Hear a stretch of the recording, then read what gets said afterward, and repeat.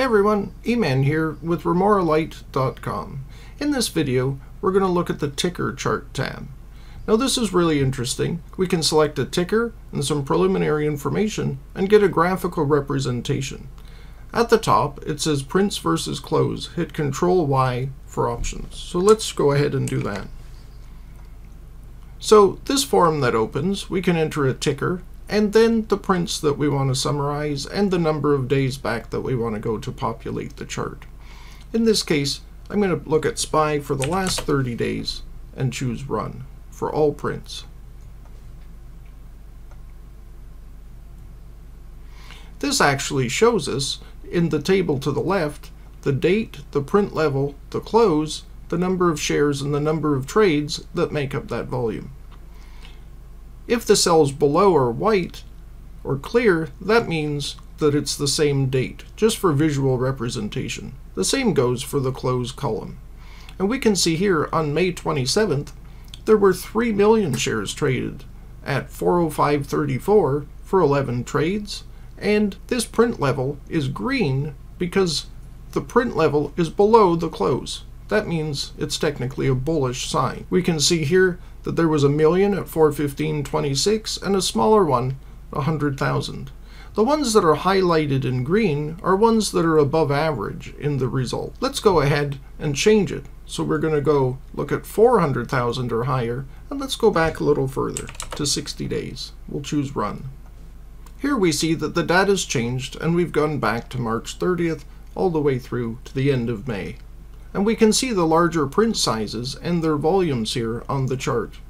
The yellow line is the actual market close. A green dot actually indicates that the print was below the close and it's technically bullish. A red dot indicates that the print is above the close, which is technically bearish. The green bars at the bottom indicate the volume of shares traded on that day. We can see here that this day there was quite a lot of volume, 15 million. Let's switch this back to all prints.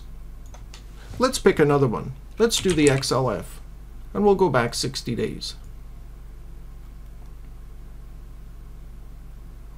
We can see here that it looks like there was lots of selling on the XLF all the way down. Now we have lots of little green dots here making up prints, potentially pushing the stock price up.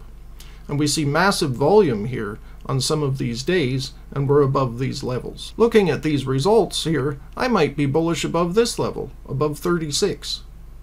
But you would have to look at your own chart and make your own trading plan. The second half of this form includes watch lists and recent prints.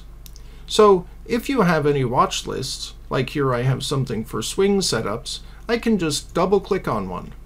Here we can see all prints on the IWM back 60 days and it looks like potentially there's a reversal in price due to the number of prints that are there. Let's look at Boeing. Here we can see there was 300,000 at 118.74 and the close is at 119.40. The recent prints column here references your selection from the recent prints tab. It reminds you that the recent prints were updated, this is May 25th, at 7.22 a.m. In order to make sure that this list is relevant, we should make sure that our recent prints are updated by clicking on it, hitting Control Y, and running our selection. If you haven't seen the recent prints video, please do so. Moving back to the ticker chart tab, any of these I can just double click and the chart will update.